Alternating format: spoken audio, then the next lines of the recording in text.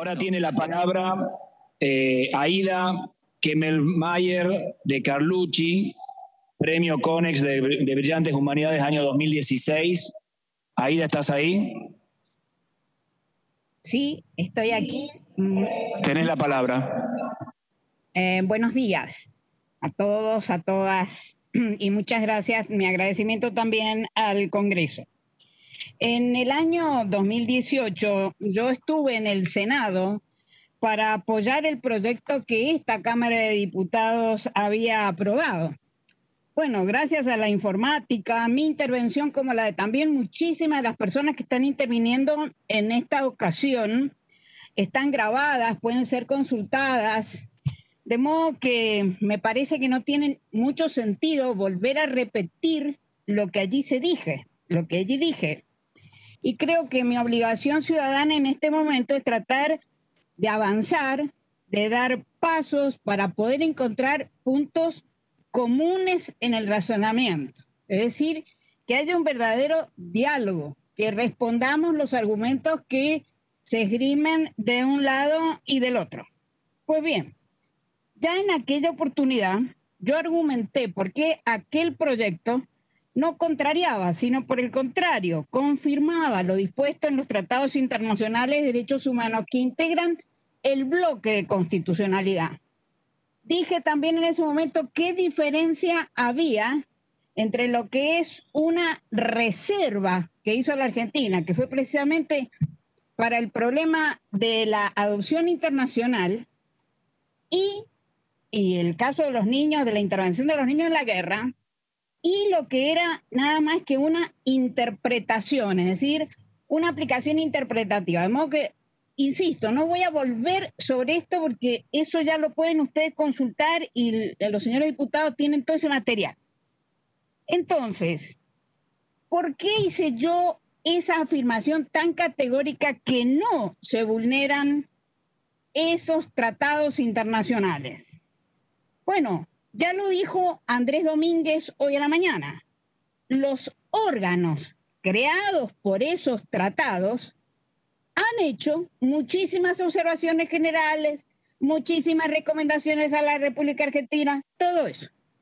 Esos órganos no nacieron de la nada. Esos órganos están en el tratado y nosotros cuando hemos ratificado esos tratados, estamos de acuerdo que esos órganos tienen que cumplir las funciones.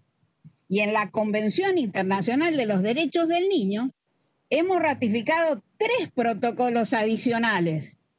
Y uno de esos protocolos adicionales precisamente le da al comité, a este que nos está haciendo todas las recomendaciones a por haber respecto de las adolescentes, la posibilidad de recibir denuncias contra la Argentina.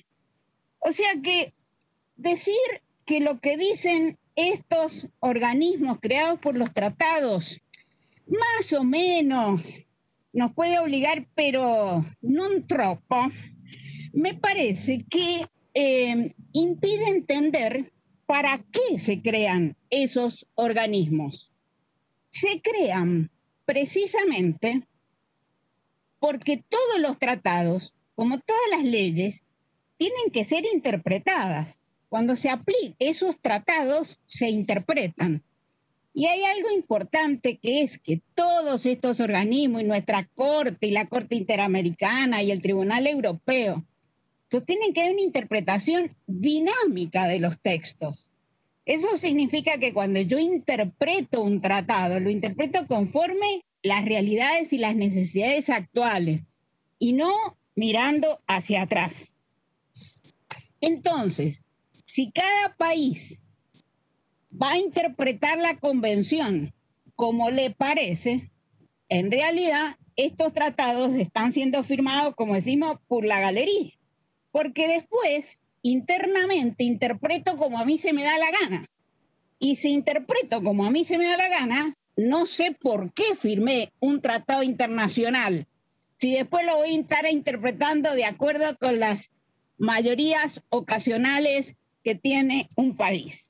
Entonces, hay que estar atendiendo a lo que dicen estos organismos creados por las leyes, por estos tratados. ¿Y qué han hecho estos organismos? ¿Por qué dicen lo que dicen? Bueno, porque estos organismos entienden muy bien lo que son los derechos humanos y entienden que no hay derechos, aunque sean humanos, que sean absolutos.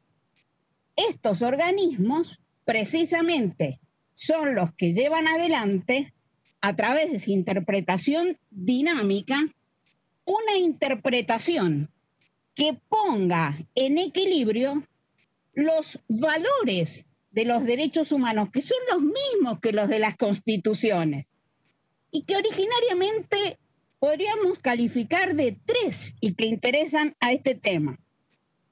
Uno es aquella famosa libertad de la que nos hablaban los franceses y que hoy le llamamos autonomía, de la que venimos hablando. El segundo es el de la igualdad y que hoy llamamos pluralismo. Y el tercero, ese de la fraternidad, que hoy llamamos solidaridad. ¿Qué significa esa autonomía? La autonomía esencialmente es que ningún ser humano tiene que ser instrumento de otro. Un ser humano es un fin en sí mismo. No puede ser instrumento ni de otra persona, ni del Estado, ni de los grupos.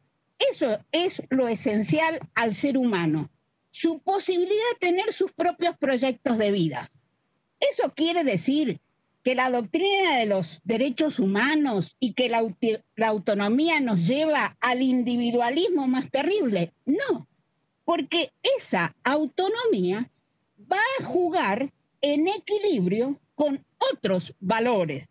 Y esos otros valores, esa autonomía que no es absoluta, va a entrar en equilibrio con otro de esos pilares, que es el de la igualdad, y con otro de esos pilares que es la solidaridad. Entonces, ¿cómo se aplican estos tres pilares? un minuto, Aida. Sí, ¿Cómo se, ¿cómo se aplican estos tres pilares a esta ley? La autonomía permite a la mujer tomar decisión, siempre cuando se le da la gana, no en estos periodos que estamos tomando. La igualdad nos lleva a la igualdad real, y a este pluralismo que no nos tienen por qué obligar a hacer lo que otros quieren. Y esa autonomía efectivamente tiene que estar ajena al paternalismo médico. Una cosa es la información, otra cosa es el paternalismo. Nos hemos sacado el paternalismo médico hace mucho tiempo con todas estas leyes que ustedes, señores legisladores, han legislado, como son la ley de los derechos del paciente, etcétera, etcétera. En cambio, si ustedes no aprueban esta ley, no respetan la autonomía porque la mujer la convirtieron en un instrumento, no respetan la igualdad por todo lo que se ha dicho acá y no respetan tampoco un mínimo de solidaridad social que requerimos para que esto sea comprensible. Entonces, ¿qué le pasa a los países que no aceptan, que están como nosotros? Bueno, miremos lo que le ha pasado a Polonia este año el Tribunal Constitucional polaco hizo todavía más restrictiva la ley que tienen los polacos en materia de aborto. ¿Qué hizo el Parlamento Europeo? Es decir, Ahí los que ejerzan la misma función que ustedes hicieron, el Parlamento Europeo condenó al Tribunal Constitucional polaco por no entender los derechos mínimamente equilibrados que necesitamos todos. Gracias.